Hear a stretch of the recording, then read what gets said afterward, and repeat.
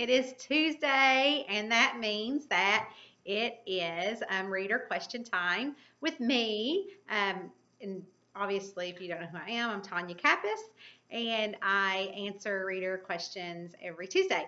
And if you want to send in your question, any question, nothing's off limits, doesn't have to be about writing or books or anything like that, you can email me at Tonya, T O N Y A K, 11.tk at gmail.com. Um, I try to get through everybody's email if I can. I get a lot of them, so um, be patient with me. I thought that this week I would choose a uh, reader email that has to do with Christmas. It is from Deb Pelletier, P E L L E T I E R. I'm reading it um, off another computer screen because I won't. Um, remember to spell it correctly. I hope I said it right. But anyways, Deb, uh, make sure you email me because you want a $5 gift card from Amazon. And that's what happens if I pick your question, then you win a $5 Amazon gift card. But her question is, what is your favorite Christmas song? Well, Christmas is so much fun for me. And um, I have a lot of holiday memories, and I grew up um, in the 70s and um, a lot of the Christmas music, and I think today still holds true, is those old Christmas music like with Bing Crosby.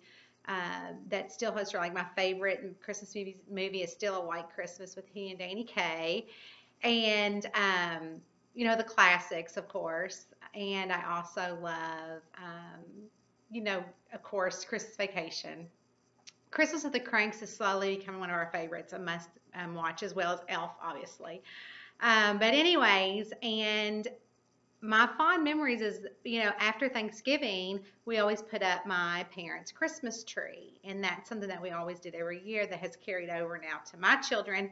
And they're also adults now, so it's really fun to go back to my parents' house and carry on that tradition where we have a cider and we make cookies, and my mom plays the old um, Bing Crosby um, CDs, and now we can get them digitally on their fancy TV, which we could not do before. But um, my favorite song happens to be um, the Frank Sinatra version of Jingle Bells. And I, it was so funny that this question came up, Deb, because just last week when my mom and I had gone to see the Trans Siberian Orchestra, the song came on. and I'm like, oh my gosh, this is my favorite Christmas song um, forever. And this is the song right here. I pulled it up on my phone.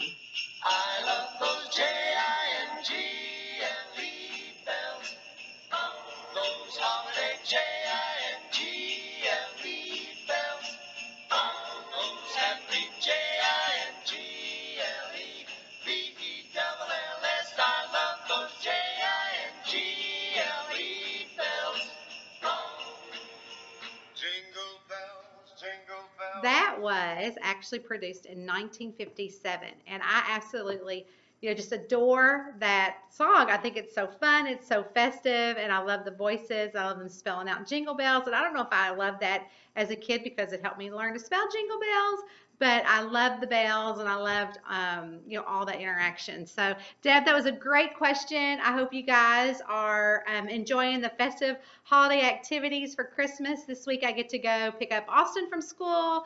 Um, and all the um, other kids will be home. You know, Brady's local, so he's already here, and Jack will be off break. So I'm looking forward to having, you know, Cody on break and, and Austin home on break and all the kids back into the house. So, um, I will talk to you next week. And I hope that you send in your questions again to Tonya, T O N Y A K 1 1, which is Tonya K 11 dot tk at gmail.com. Mwah! See you guys soon.